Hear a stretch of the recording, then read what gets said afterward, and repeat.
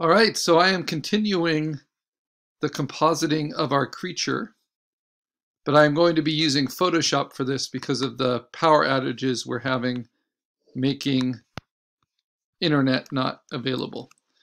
So throughout these demos, I've used the, the metaphor of assembling a car on an assembly line for how we composite the creature.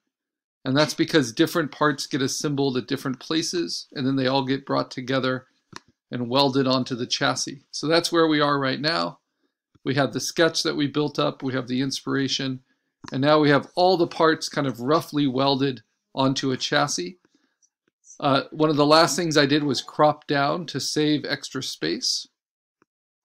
And now I need to work on all of these different aspects, the body, the tail, the head, which all have their own component parts. So they're all organized into layer groups, except for the tail, which is just one piece. Actually, there's something. So there's some uh, debris as part of the body that I need to get rid of because that's showing up on top of the tail. So I'm going to click through the eyeballs. There we go. It's in this layer. And I know I don't need it there. So I just lasso and delete. And behind everything, I just have a blank layer of middle gray. It just helps me see that kind of debris that needs to get cleaned up. So that when you put the the finished car on the showroom floor, there isn't a bunch of like oil and mess around it. So it looks nice and clean. So when I turn off the background, it will just float perfectly on the transparent grid and we will save it as a PNG file to post to Canvas, but that PNG file will work as a sticker that we can then bring into our fantasy landscape. All right, so let's do this. I have my inspiration somewhere. There he is. And so this inspiration can work for coloring and lighting for you as well. You can see that the inspiration is lit from this angle and that's kind of why I chose this as the belly. It's lit from a similar angle. But I also have some reflected light or a secondary lighting coming from the back, and I can use that as well, and on the head. So I'm going to start with the head and the coloring of the head. Or maybe, maybe work between these two parts of the body. I know the feet are pretty close to the coloring I want. So if I look at the different parts of the body, this is the big one right here. So what I'm going to do is I'm going to go to image adjustments and first I'm going to play with levels just like we do with the landscape. I think I'm going to limit the highlights a little bit with this limiting the output levels. And I'm going to limit the shadows just a little bit. And then I can play with the midtones and decide if I want to kind of lighten it overall or darken it overall.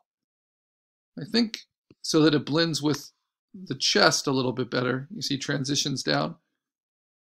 I want to lighten it a little bit overall.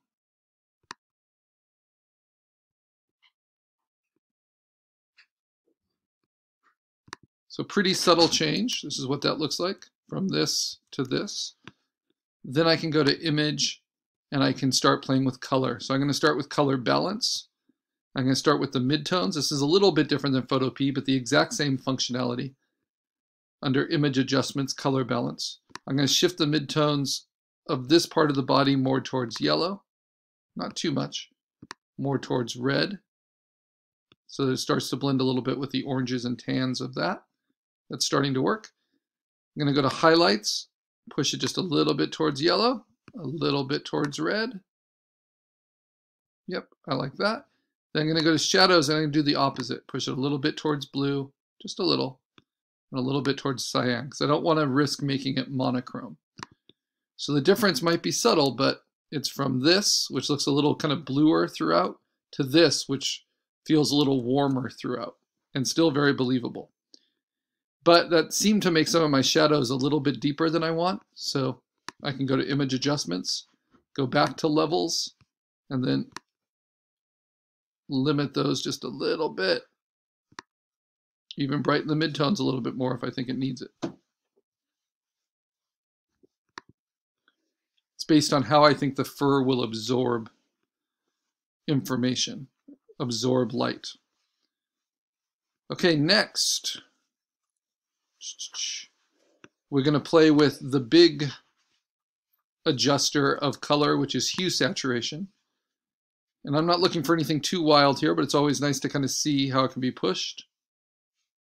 In hue,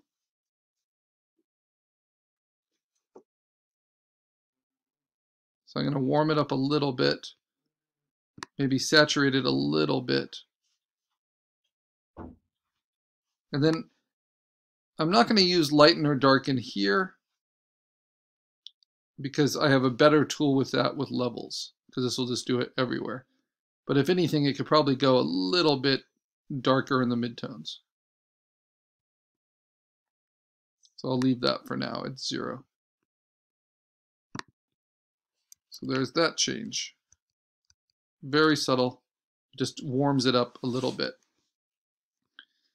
So now that's starting to work with the tail a little bit better, with the arms a little better, with the feet a little bit better, but I can adjust all of those.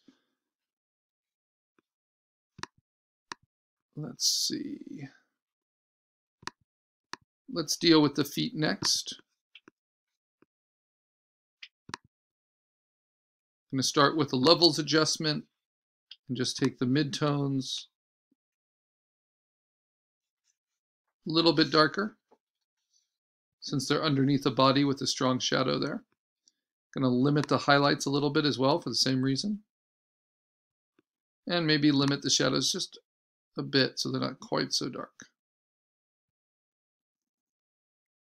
Okay.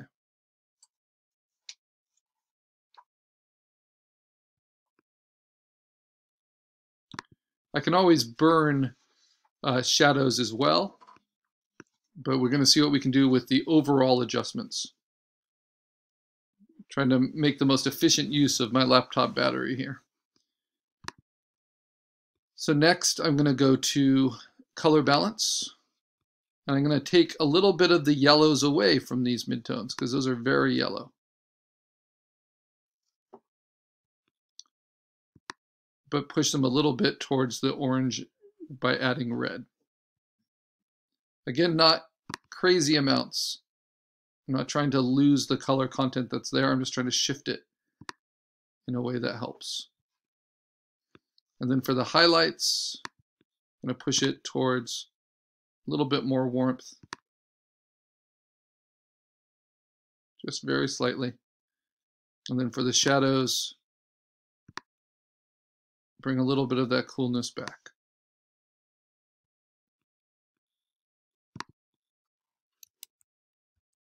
And that helps kind of bring everything into the same range. Remember, color balance is adjusting the color temperature. So it's like it's all lit with by the same temperature light. Now I can go to hue saturation, the big guns, change the whole hue and decide maybe maybe I want them just a little bit redder overall, just a touch, maybe a tiny bit desaturated. And again, I could play with the lightness and the darkness overall. If anything, maybe darken them a little bit, which I'll be doing with the, um, the dodge, with the burn tool. So I guess, I guess I can get away with that.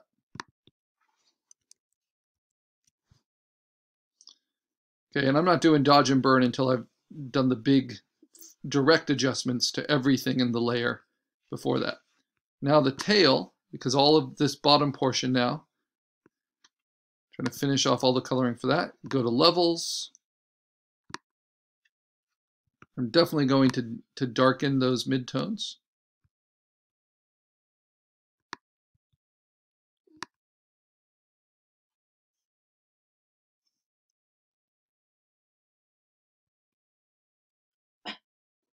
That is pretty darn dark, but I might have to do that with the dodge tool to lighten that up. Because if I just limit the output levels, then I lose a lot of that pixel contrast. But I think about there for levels. Can limit the highlights a little bit too. Yeah, that helps. Okay, now color balance. This is the tail, so I'm actually going to shift it, and it's that source was already lit with pretty yellow light, so I'm going to shift it a little bit more towards the cyans and the blues. So it feels similar. In the highlights, though, I'm going to still put some warm tones into it. Shift towards the yellows and the reds. And in the shadows, I'm going to push it towards the cyans and the blues. You get to decide how much. I like to have uh, cool shadows, warm highlights. It uses the color temperature to help with the overall value range. Okay, next. it's so funny to kind of shave him. Now that we've got that body, see what our other components are. We have the little spine ridge of fur. I think that's fine as it is. Then we have that front arm. We have that arm. We have that arm. So it's all in pieces. So this, this, this, nope, not that. So what I'm going to do is bring these together into one layer as much as possible. So I'm going to hold down uh, Command, select these different layers, and then say, well, at least merge the ones I can, because some are on top of others. So I'm going to take these two that are on top, and I'm going to say layer merge layers. Action key E, it's the same in Photopea. That brings those together. And then this layer and this layer I'm going to merge together. Hold down shift because they're touching, and then action key E, merge them together. And I'm going to start with the one underneath See how much difference that makes to play with levels. So there's a lot of internal compositing here. So I think I want to brighten the midtones a little bit, at least for that side. Limit the highlights though.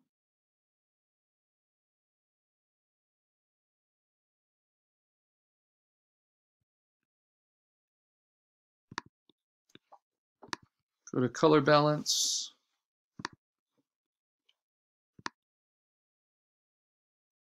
Warm it up in the midtones. Hmm. You actually put it a little towards cyan and yellow in the midtones. Just looking at the back there and on this fin. And then the highlights, push it a little towards red, a little towards yellow, and then in the shadows, bring in that cyan and bring in that blue.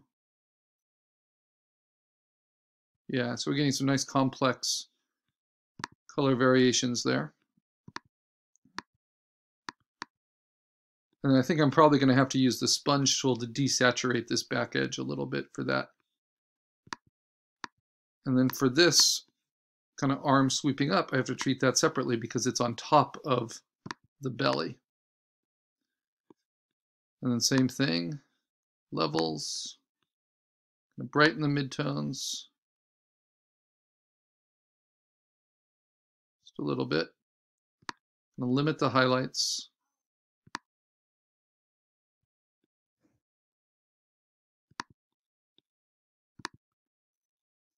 Play with the levels. I just did that. That looked good. Okay. Play with the color balance.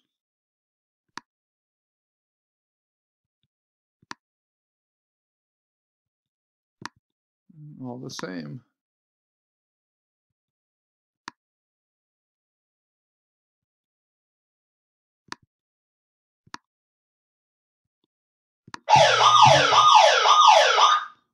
That's my power coming back on, so don't mind that.